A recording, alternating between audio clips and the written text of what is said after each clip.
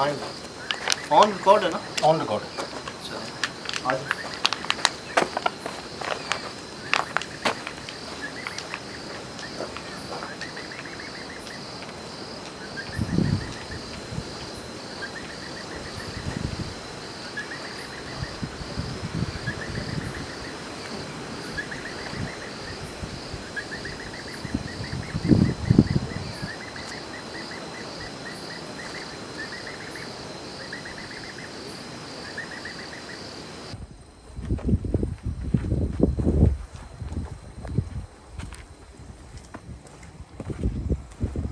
हमसे ये कहा गया था कोई भी जानवर यहाँ लाएँगे मर जाएगा। तो वैसे ही बिल्कुल लाते ही पर मरे तो हुए। ख्याल से हमें चले जाना चाहिए यहाँ से कैमरा रिकॉर्ड पे है ना कैमरा रिकॉर्ड पे हाँ। जरा दूर चलते हैं। चलिए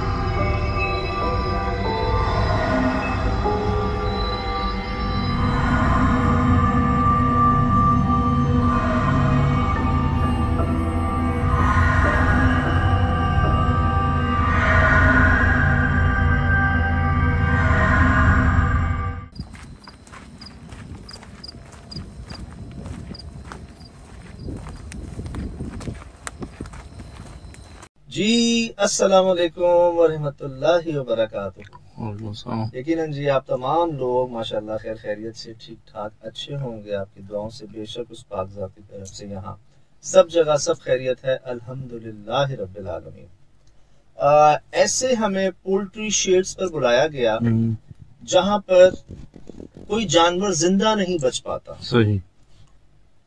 और ये कोई समझ लें इतफाक या वहम नहीं है इनका।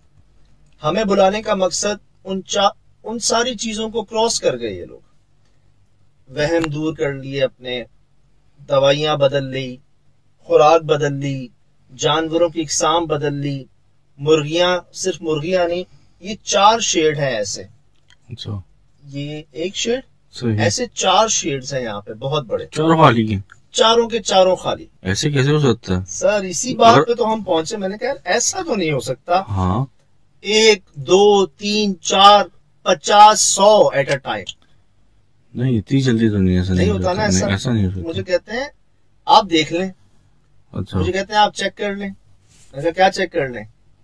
कहते हैं आप खुद चेक कर लें। जी अच्छा। सिराज भाई मैं आपसे क्या अर्ज़ की? वो काम हो रहे हैं वो वाकयात सामने आ रहे हैं जिनको अकल तस्लीम नहीं कर ये मैं आपको जगह बताता हूँ जी। हम्म, गुलशन हदीद हमारा। स्टील मिल के पास उसकी बैक साइड पर पहाड़ियाँ हैं बहुत। हम्म, उन पहाड़ियों के बीच में इन्होंने ये बनाया ताकि। आइडियल हो जानवरों के रहने के लिए। सही ट्रेन से जितना है हैदराबाद जाते हुए ना पहाड़ियाँ आती हैं क्या माहौल ना जैसे पोल्यूशन ना हो वहाँ पर शोर शराबा ना हो जानवर अच्छे अंदाज में फले फूले आइडियल लोकेशन जो जानवरों को चाहिए होती है ना कि पोल्यूशन नहीं चाहिए होता ज़्यादा शोर शराबा नहीं। उस हिसाब से मैंने कहा ये तो आइडियल जगह यहाँ तो उनको हम्म। ज़्यादा फलना फूलना चाहिए। लेकिन कहते हैं कि जी ये साहब है। अच्छा ये मालिक है? जी अच्छा एक प्रॉब्लम हुई यहाँ पर। मालिक कह लें केयर टेकर कह लें। अच्छा। आठ साल पहले यही शेड्स आपको हम्म। खाली नहीं मिलते थे। अच्छा। इतनी बुकिंग्स होती थी इनकी। सही। ठेके पे दे देते हैं ना। कि आप अपने किराए पे ले लें। तो इनकी लोग इनके पीछे भागते थे कि भाई ग्रोथ थी। ग्रोथ थी यहाँ पे बहुत। ग्रोथ माशाल्लाह उनका वेट बड़ा अच्छा रहता है मुर्गियों का बड़ा अच्छा पल, पलती आइडियल जगह हर चीज़ आठ साल पहले। हम्म, चार साल तक इनका काम उरूजों पर। अच्छा। बे इंतहा उरूजों पर। चारों के चारों शेड फुल एडवांस बुकिंग्स जैसे फार्म हाउस पे होता है। सही। अचानक इनको बंद करना पड़ा ये काम। अच्छा। इन आठ सालों में कुछ हुआ चार साल पहले सही। इनको बंद करना पड़ा। चार साल तक ये खाली रहे ये शेयर्स अच्छा। चार साल तक खाली रहे और अब जब ये एक के बाद एक कोशिश कर रहे हैं हम्म। इसको आबाद करने की तो जानवर ही नहीं बच रहे। सही। सारे सवाल कर लिए इनसे। वेटनरी डॉक्टर हम्म। बीमारियाँ कोई सांप बिच्छू कोई बाइट मार्क्स हम्म। कोई आपके इस एरिया के अंदर कोई होता है ना कोई खुदा ना खास्ता कोई जहर टाइप या कोई ऑक्सीजन के अंदर जी, जी, जी, जानवर से। नथिंग नथिंग कहते हैं हम पहली बार ये काम नहीं कर रहे हम तो अरसे से कर रहे हैं। और हम्म। हमारी समझ से बालातर है फिर अच्छा मैंने यहाँ तक कहा ठीक है ऐसा हमारे साथ पहले भी हुआ है। याद नहीं हम एक शेड पर गए थे? जी जी जी जी और चीर फाड़ हो जाती थी मुर्गियाँ। सही। जानवर कहाँ से आता था कहाँ जाता था याद है आपको? जी जी जी जिसमें तबाही मचा दी जी गाँव पूरा परेशान था। सर यहाँ मसला ये है कि कोई एक कट का निशान नहीं होता जानवरों अच्छा। यही तो हैरान बात है ताजुब की बात कैपरा भी तो खून चूसता है ना। जी जी जी वो भी नहीं।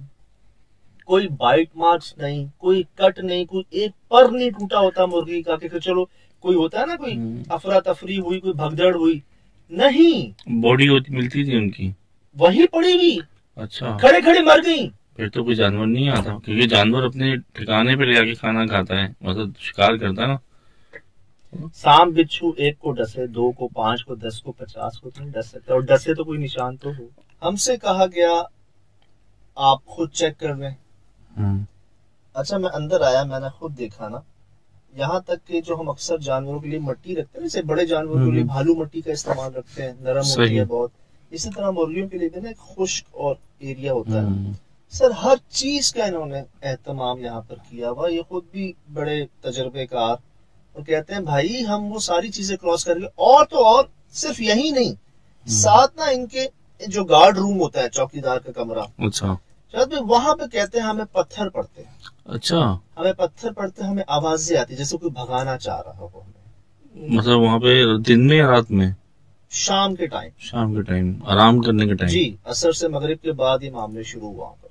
कहते हैं दो तीन चौकीदार बदल भी गए हैं वहाँ पर और बंद है अब एक अरसे से बंद है। अब इससे बात ये पैदा होती है कि चलो जानवर तो जानवर किसी इंसान को भी नहीं टिकने दिया जा रहा है। डाउट होता है ना कि हाँ। चलो कुछ जानवरों के साथ कोई मसला कहते हैं जितने चौकीदार गार्ड्स वगैरह यहाँ पर आए हम्म। वो सबके साथ जो है ना यहाँ पर आ, उनको पत्थर पड़े इस जगह इसके पीछे जहाँ हम खड़े हैं ना इसकी बैक साइड पर इनका रूम है। मैं गया उसमें हम्म। दिखा दीजिएगा अच्छा। पूरा जला हुआ। जला हुआ है? पूरा जला हुआ। छत भी उसकी काली स्या अरे। ये तो वाजे निशानी है। आग नहीं होती छतों पे पूरी आग ही ये तो हमें हर ऐसी ऐसी जगहों पे तो हमें बहुत मिली वाफिर मिकदार में मेरी जगहों पे आग मिली है। दिखा दिखाएँ? मैंने आपसे अर्ज़ की इनके रूम की। ये इनका जी रूम है और इसमें हम जब जाते हैं अंदर ये देखिए ये चारपाई डाली गई है। जी। और ये आग देखिए तो ज़मीन पे एक निशान भी नहीं है आग का? जी नीचे नहीं है नीचे नहीं है जहाँ से आग लगनी चाहिए और दीवार पे कौन सी ये देखें। है यार ये बड़ी हैरान की चीज़ होती है मुझे हमेशा ताजुब रहता है कि ये दीवारों पर भी कोई ऐसी चीज़ थी जो आग पकड़े। हाँ हाँ बिल्कुल वो मट्टी वो दीवारें और सीमेंट की चादर और ऊपर तक आप देख सकते हैं कि पूरा आग ही आग। तो ये जो इनकी जगह थी खुद जहाँ पर ये रहते थे चौकीदार गार्ड और रखवाली पे होते हैं ना जी कोई जी जी। खुदा खास्ता चोरी या कोई जानवर का हमला इस तरह हम्म। से ना हो तो एक ड्यूटी पे होते ही होते हैं चौबीस घंटे ना बारह बारह घंटों की शिफ्ट है आठ घंटों की शिफ्ट है तो कोई टिक नहीं सका यहाँ ये ज, ये खालिद जो बता रहे समझ सकते यहाँ तो कुछ और मामला समथिंग पैरानॉर्मल पैरानॉर्मल है समथिंग इज़ पैरानॉर्मल देयर और जब हमसे यहाँ तक कहा गया देखें हमें कभी ये नहीं कहा गया कि आप खुद चेक कर लें। चैलेंज हम्म। आप अंदाज़ा लगाएँ कि कितने श्योर है वो? इनको कितना नुकसान हुआ है कि उनको यकीन है कि आपके साथ भी कुछ ना कुछ होगा। वो कह रहे हैं कि इसमें कोई गुंजाइश ही नहीं ना शक की। अच्छा। हम वो सब वहम हमारे कोई धोखा कोई इतफाक हम सब उसको क्रॉस हो गए तभी तो आपको बुलाया। सही।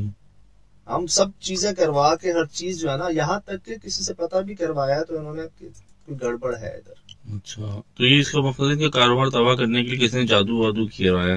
ये जब आप बता रहे हैं ना कि ये चल रहा था प्रोफेशनल जेलिसी भी तो होती है ना।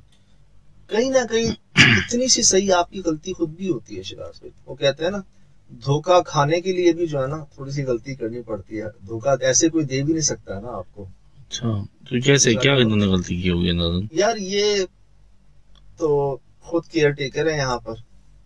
और जब हमसे ये इन्होंने कहा ना कि जी चार साल तक बहुत अच्छा रहा। हम्म। चार साल बाद जो है ना हमें बंद करना पड़ा और ऐसा बंद करना पड़ा कि चार साल तक कोई आबाद नहीं हुआ ये। फिर अब जब हम उसको आबाद करने की कोशिश कर रहे हैं तो अब ये हो नहीं पा रहा इतना सख्त हो गया यहाँ पर काम क्या मगरब के बाद ना कोई चौकीदारी कर पाता है। सजाद भाई ये भी हो सकता है ना ये वीराना है जब बन रहा है तो अब तो यहाँ पे मखलूक आ गई होंगी।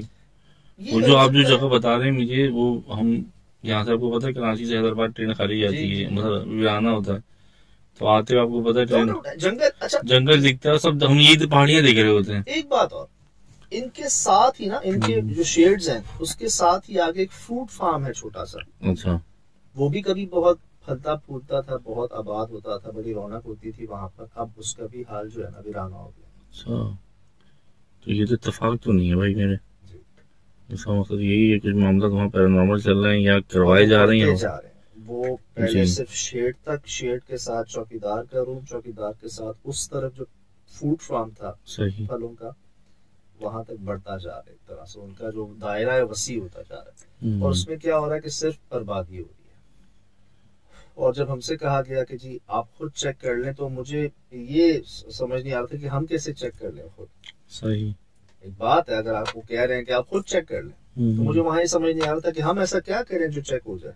सही। तो ये देखने वाले बताएँगे कि हम क्या कर सकते थे वहाँ पे क्या करते जो हम चेक कर सकते थे सही। कैसे चेक कर सकते थे। तो ये तो जो आपको सुनाया इंशाल्लाह दिखाएँगे भी आपको। और ये भाई जो सबसे बड़ी बात इनका जो कॉन्फिडेंस लेवल अच्छा। जिस यकीन के साथ इन्होंने एक नहीं कई बार हमसे कहा ना मैं चाहूँगा वो सुनिएगा। देखिएगा बल्कि। तो जी ये सब आपके सामने है।